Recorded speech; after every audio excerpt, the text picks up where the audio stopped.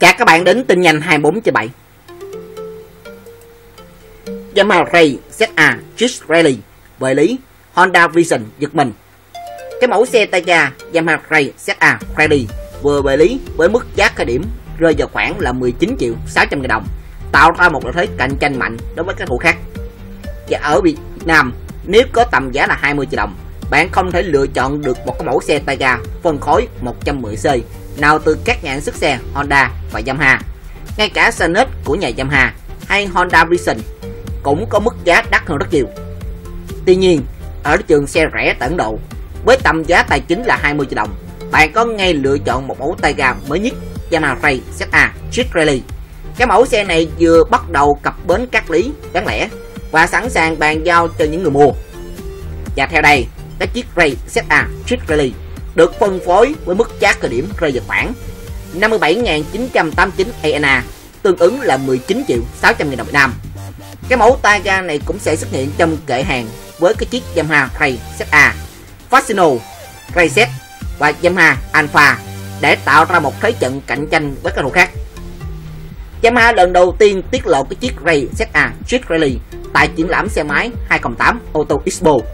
Và trong cái sản xuất trong cái phiên bản sản xuất này khác biệt một chút cho các bản trưng bày Ray ZA à, Street thực sự có vành với những cái chấu đèn và giảm sấp sau loại đường được sơn cái màu trắng.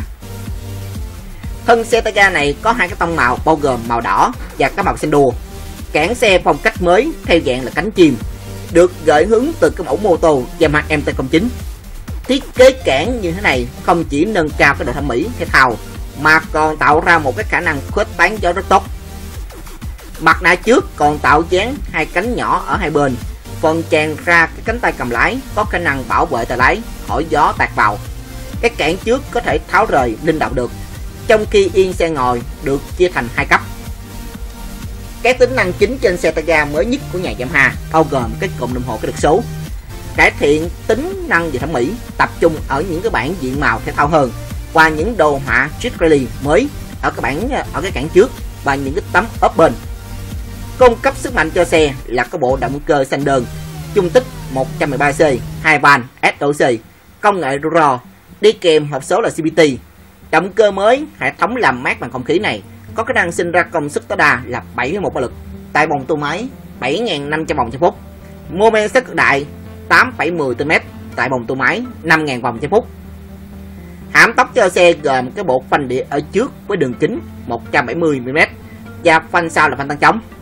Dưới yên xe là hốc đường đồ rộng 21 lít. Còn ở phía trước có hốc đường đồ nhỏ vừa cái chai nước 500ml. Yamaha Ray ZA Street Rally hoàn toàn mới có thể tạo ra sức ép cạnh tranh thủ nặng ký như Honda Dio, tbs Jupiter hay Honda Activa 5G. Nếu đúng được phân phối Thậm chí nếu em nó còn được phân phối Việt Nam tầm giá như Honda Vision, chắc chắn cũng phải kiềm nể phần nào đối với chiếc Yamaha Ray ZA Street Rally.